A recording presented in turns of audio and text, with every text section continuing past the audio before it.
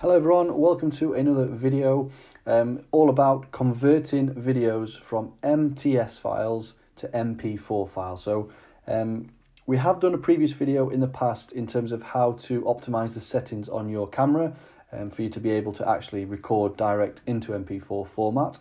But that's not always the case, you know, sometimes you may have forgot to set the camera settings correctly or you've been sent footage from another team or another coach and that might be that it is in an MTS file. So um, MTS files are normally a lot larger than MP4s, um, and sometimes you know they're hard because of the size. They're harder to transfer, and also some software do not accept MTS files. So MP4, if you can get it in that format of MP4, it will tend to be you know it will work a lot better across different platforms. So the the software, the program they're going to use to actually do the conversion is this one here. So it is a free piece of software and it will be linked in the description below. So this is just, you can see here, free MTS M2TS converter. Uh, very straightforward and really easy to use. So I have used a lot of different ones in the past and had mixed results. This one seems to work just fine for what I'm trying to achieve. So we've got two files here. We've got part one and part two. You can see they're both MTS files.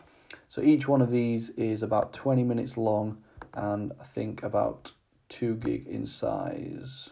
Yeah, so it's over 2 gig. They're both pretty much the same um, length and size. So we've got there part 1 and part 2 um, of a hockey game actually. And what I'm going to want to do is convert both of these to MP4, but also while I'm doing the conversion, I'm going to want to merge them into a single file. So I don't have two anymore. I'm just going to be finished up with one MP4 file.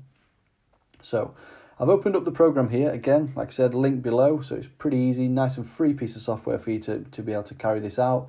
So once I've opened up, all I'm going to do is drag the video files into the left hand side that I want to do the conversion to. So if I drag those in there, we can see, there we go, we've got part two, part one, both of them are ticked. So the first thing I'm going to want to do, because I'm wanting to merge these into a single file, I'm going to need to make sure that they're in the, you know they're in the correct order. So as it currently stands, this is going to have part two at the start, which is incorrect. So I'm going to change the order by using these buttons here. So I'm going to I'm highlighted part one. I'm going to press this arrow button, and that's jumped to the top now. So I've got part one first, followed by part two.